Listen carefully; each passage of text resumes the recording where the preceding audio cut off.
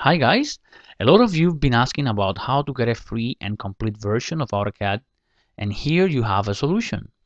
Today I'll show you how to download and install the student version of CAD 2015 which in my opinion is a far better option than downloading a cracked one with viruses. This is EasyCAD for you and remember to like and share the video. First of all in your browser navigate to autodesk.com. Locate now the section where it says Education Community more or less towards the right. Click it now and it will take us to Autodesk Education Community page. As you see on the left, under student option, we have two categories. The first one is secondary students. In my case, I use college and university students, so click it.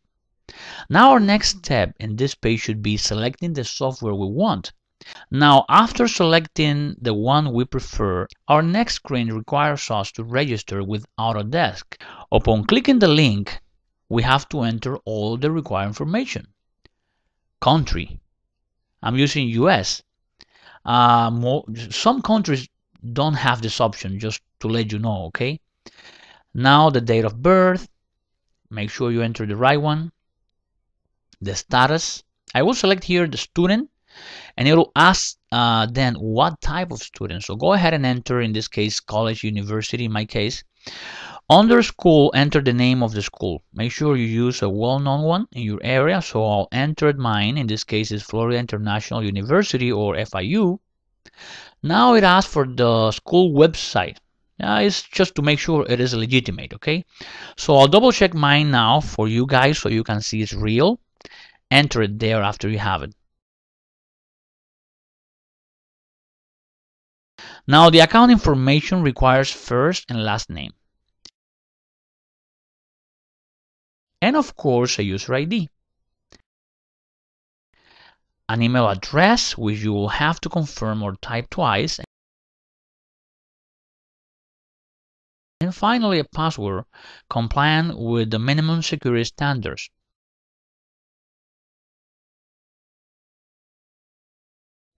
After all that, you agree to all three terms and conditions and you're pretty much set to start downloading the software.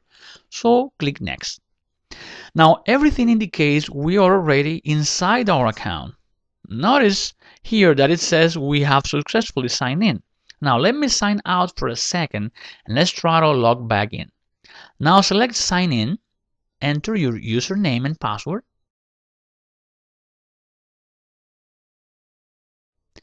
and you see we're inside again. Now, yes, we select the edition we want to download from the menu. I'm selecting version 2015, but you can go back up to 2012. Next, we choose the language and finally the operating system. Immediately, we have the license information in our screen.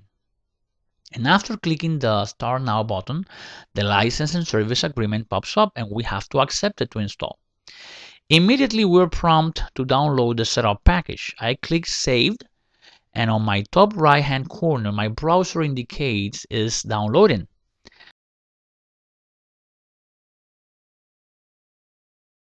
After it's done, we just locate the installer and launch it.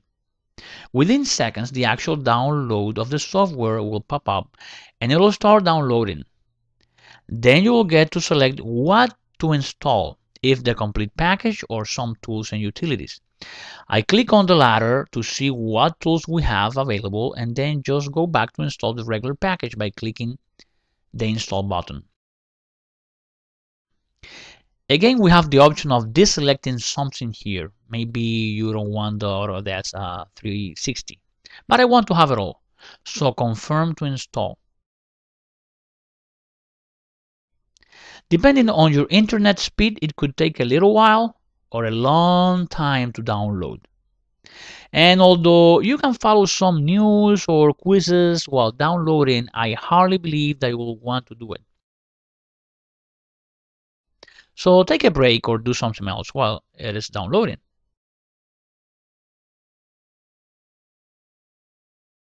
After it's done, you will be prompted to restart the computer. Do it now and after restarting, you can use AutoCAD 2015. Of course, after launching it, uh, it will you will have to agree to the privacy statement. But see that after verifying the license information, the software will launch as a full version, complete package, full version, and this is a plus. Remember, uh, before the student version was very limited. Our intro page is this one from where we can visit the Learn section and explore what is new or to create. You can go to the Create section and from here start a new drawing. On the very top, we verify we're using the student version. And the good part about this that, I already explained, is fully functional. I'll just draw something here to prove it. So let me do this.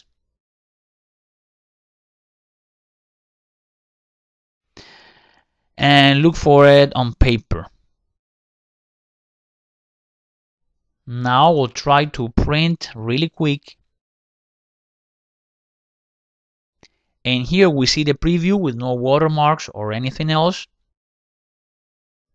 So let's print it. Then here we have the PDF for it, confirming it works just fine. Well, guys, this is all for today. Remember, hit the like button if you enjoyed. Feel free to share your feedback and thoughts by posting. Uh, feel free to ask any questions. You can subscribe for more, and certainly we'll see you next time.